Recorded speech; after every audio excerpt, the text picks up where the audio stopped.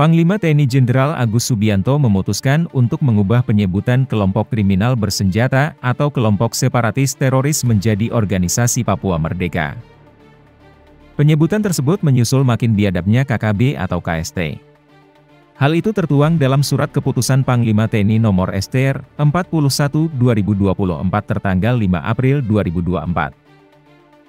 Langkah tersebut mendapat dukungan dari berbagai tokoh nasional, seperti Ketua MPR RI Bambang Susatyo, anggota Komisi 1 DPR dari fraksi PDIP TB Hasanuddin, dan Ketua Dewan Pembina Partai Golkar Abu Rizal Bakri. Kata Bamsud, dia mendukung dan menegaskan bahwa keselamatan bangsa di atas segalanya. Urusan HAM dibicarakan kemudian, jika mereka sudah berhasil ditumpas.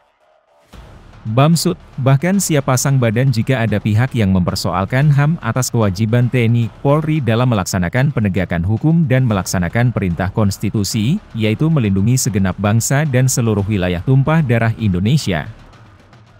Anggota Komisi 1 DPR dari fraksi PDIP TB Hasanuddin menyebut adanya perubahan penyebutan tersebut memiliki dampak politis bagi Indonesia, serta konsekuensi cara menyelesaikannya. Dia mengingatkan bahwa perubahan istilah ini tak bisa sukses jika hanya dijalankan oleh TNI. Seluruh lembaga negara harus solid mengganti istilah KKB menjadi OPM. Sementara itu, Ketua Dewan Pembina Partai Golkar Abu Rizal Bakri mendukung TNI dan Polri untuk bertindak tegas terhadap kelompok yang menamakan diri OPM. Sebab, kelompok ini kerap melakukan tindak kekerasan yang berujung pada gangguan Kamtipmas di Papua.